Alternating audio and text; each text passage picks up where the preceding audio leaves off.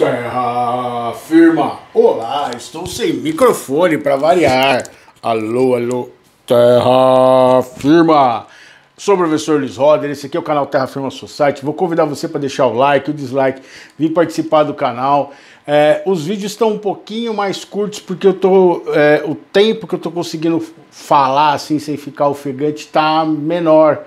Então, mas estamos resolvendo, fazendo exame, tem mais exame para fazer, tem, mas não achou ainda o, o, o, o diagnóstico, mas vamos, vamos, chegar lá.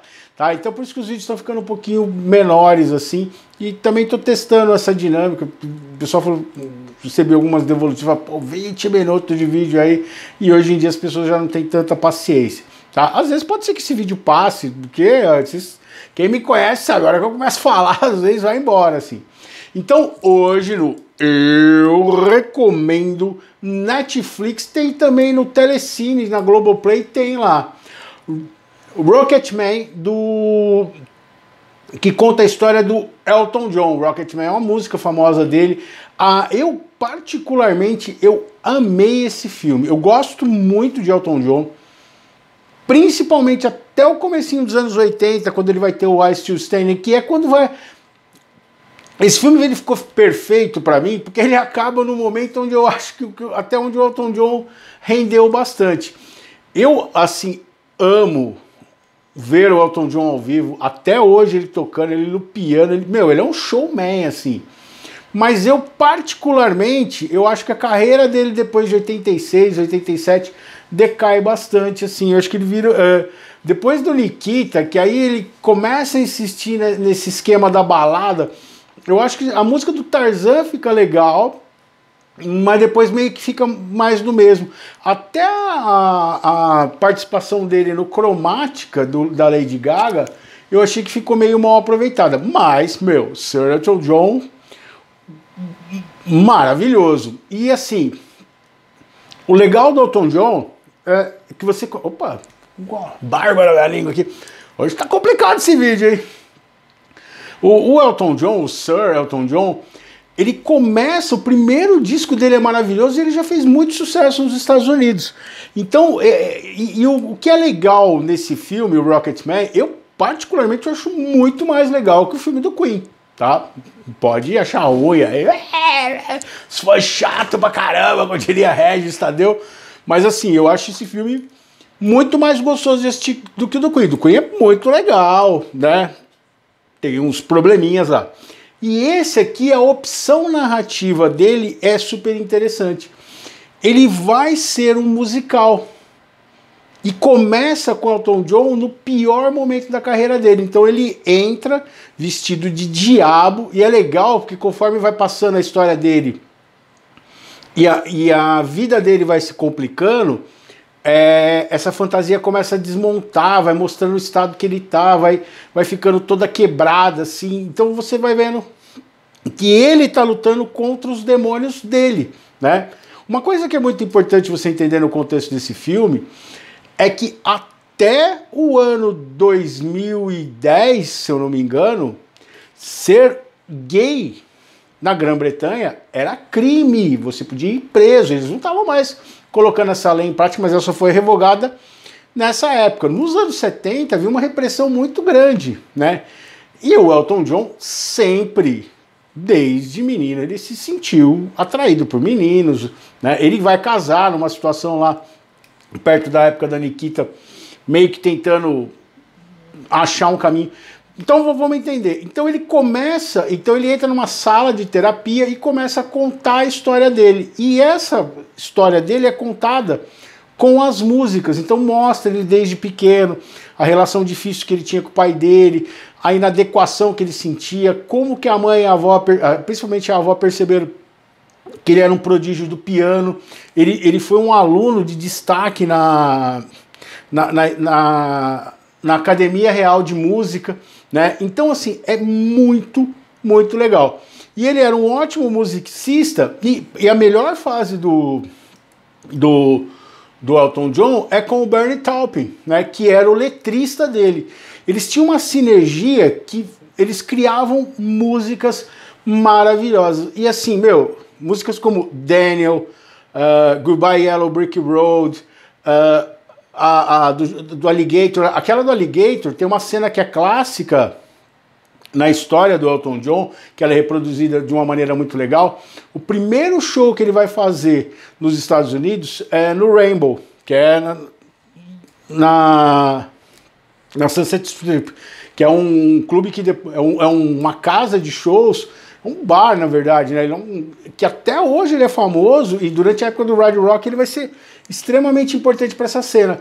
Que enquanto ele estava tocando, que ele tinha aquelas performances já muito intensas, ele pula assim. E no filme ele para. Por quê? Porque ele ficou. É, a, a imagem dele correu o mundo de uma foto que ele está no ar, assim, tocando piano. Porque o cara pegou um momento que ele estava tocando piano e ele pulou e o cara bateu a foto. Então essa imagem se tornou icônica. E nesse momento é muito legal quando ele fala assim, aquele momento que a sua vida para por um segundo, assim. A, a edição desse filme é muito legal, as interpretações estão muito boas, assim. O elenco é excelente. Meu, e só música do Elton John. Aí vai mostrar o auge dele, os excessos, e é legal você perceber esse, esse, o diabo, o demônio, que, que aparece no começo do filme era dele. Ele estava lutando contra ele mesmo. Ele se escondia através. Aí tem uma. O, o, o ápice, assim, do o clímax do filme que vai chegar dessa história dele é o dia que ele tem uma overdose. Ele tem uma overdose recebendo as pessoas na casa dele, na piscina, assim. Então é a luta dele para tentar retomar a vida, para lutar e se aceitar do jeito que ele era, não aceitar essa repressão. E, e, ele tinha muito essa síndrome do patinho feio. Ele era o cara fantástico que não se sentia é, representado nisso.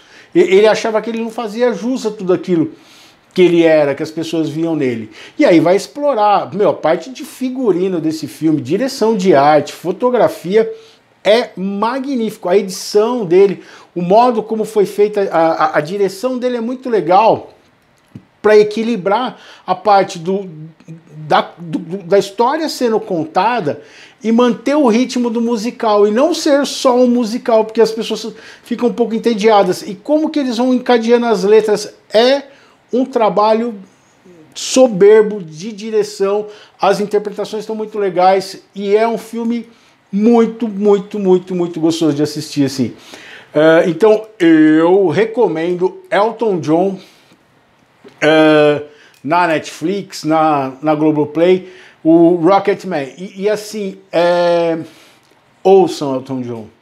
Se você não conhece, todo mundo conhece Elton John, porque é impossível você não ter ouvido uma música do Elton John. Seja numa novela da Globo, algum, em algum momento você ouviu alguma coisa do Elton John.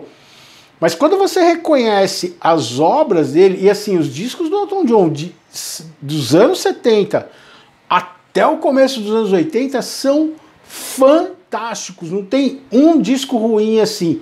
Não que os outros sejam, mas aí eu acho que o Elton John ele entra numa pira meio Roberto Carlos, ele começa a virar um cantor romântico e que perde um pouco aquela verve dele de um piano man, boogie woogie, uh, um cara que, que, que, que faz a festa sozinho, assim, ele consegue tocar uma festa de uma maneira maravilhosa, assim.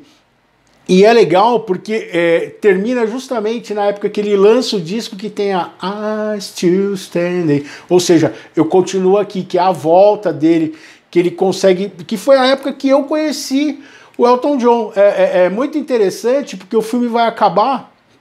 Eu nasci em 73, então essa fase anterior do Elton John eu era criança, eu não tinha ideia.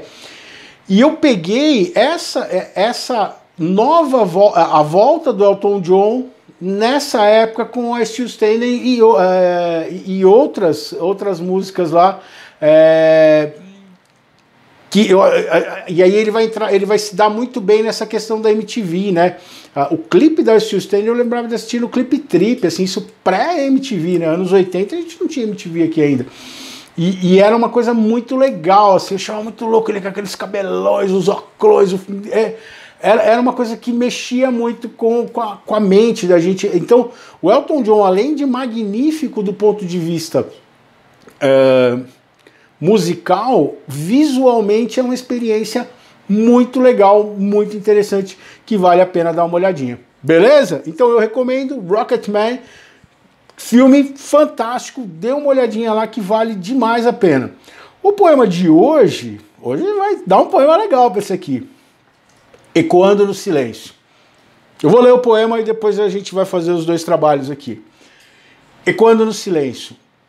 O som da, sua da tua voz ecoa na minha mente e tento mentir a mim mesmo que estás aqui por perto. O que de fato não é totalmente uma mentira, pois aonde quer que eu vá, sempre te carrego aqui comigo, gritando dentro de mim. Mesmo que em silêncio, tu não me ouças mais. Esse é um poema de amor, de um casal, de duas pessoas que se separaram e uma delas continua carregando essa pessoa dentro dela. E eu escolhi esse poema porque, para mim, ele representa aquele diabo do começo do filme. O demônio interior que ele carrega dentro dele até hoje e que ele resolveu não ceder mais a ele. Muito interessante você parar para pensar nisso. E é uma luta para a vida toda. Você sempre vai carregar os seus demônios com você. O problema é se você vai dar ouvido para eles. Não é, Felipe? Então, assim, é, é, muito doido isso. O maior inimigo da gente, o maior sabotador que existe é a gente mesmo. E fica muito louco isso na ideia do filme. Como ele lutou principalmente com o que ele via e ele achava dele em função do que ele esperava atender aos outros e, e se colocar no segundo lugar. E quando ele descobre que ele pode ser feliz sendo feliz com ele mesmo, ele vai ter um desdobramento diferente na vida dele. A história do Elton John depois disso teve uns probleminha depois, né? Ele, na verdade, ele teve problema com drogas de novo só depois dos anos 2000, final dos anos 90, é que aí ele conseguiu mesmo. Ele, ele, ele tinha problema de compras, ele era um cara que comprava uns bagulho muito louco, assim, né? Então ele, na verdade, ele era, problemas que aparecem no filme vão voltar posteriormente, mas que o filme não vai mais mostrar, porque o filme escolheu fazer essa história dele criança até a volta dele, né? E para justamente amarrar com essa ideia do I Still e tal. Esse filme demorou para sair, esse filme passou pela Disney, uh, só depois que o do Queen deu uma ajeitada e fez sucesso que, que ele conseguiu achar um jeito de, de ter o seu espaço. E para mim, uma obra perfeita. Diz aí, você já assistiu esse filme? Esqueci de falar alguma coisa? Você gosta de Elton John? Você redescobriu Elton John nesse filme? Você sabia que conhecia Elton John e não sabia? Deixa o like, o dislike, se inscreve no canal, comenta aí e eu vejo vocês em outro vídeo de Terra Firma Society. Tchau, tchau. Opa!